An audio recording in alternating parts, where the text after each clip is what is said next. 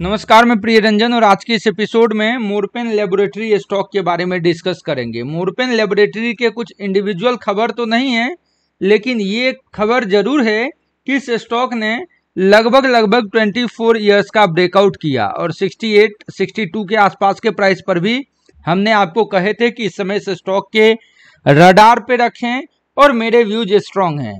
और कुछ ऐसा ही इस समय मोरपेन लैब के ट्रेंड दिखे और आज ये स्टॉक जब बाज़ार बिल्कुल ठंडा है, बाज़ार देखेंगे तो आज बिल्कुल ठंडा है और इस ठंडेपन में भी मोरपेन लैब ने 14 परसेंट की तेज़ी दिखाई। मतलब आप इसके स्ट्रेंथ को समझ सकते हैं।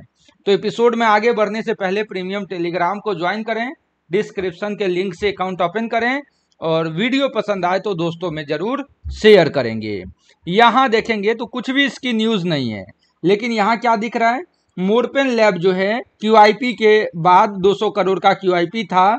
उसके बाद तिरसठ परसेंट जो है एक महीने में बढ़ा है। क्यूआईपी कितने पे था? क्वालिफाइड इंस्टीट्यूशनल प्लेयर जो है 54.37 पे बाइंग करा। और जब भी क्यूआईपी किसी स्टॉक में हो तो उस स्टॉक को रडार पे लें। और यहाँ देखेंगे मल्टी ईयर हाई ब्रेकआउट दिखा और करेंटली जो है 63 परसेंट हायर है क्यूआईपी के प्राइस से। ठीक है? क्यूआईपी वाले स्टॉक को ध्यान पे रखेंगे। आज का वॉल्यूम लगभग लगभग देखें तो सिक्स करोड़ का वॉल्यूम है, जो रिसेंट का हाईएस्ट वॉल्यूम है।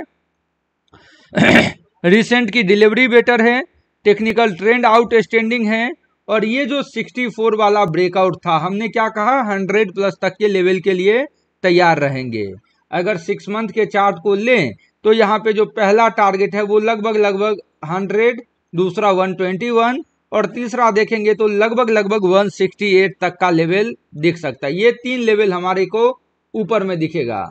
और बात की जाए वीकनेस की तो वीकनेस के लिए इस समय हमारा जो स्टॉप लॉस होना चाहिए, वो 78 के नीचे अगर स्टॉक आया तो वीक हो जाएगा, जब तक इसके नीचे नहीं गए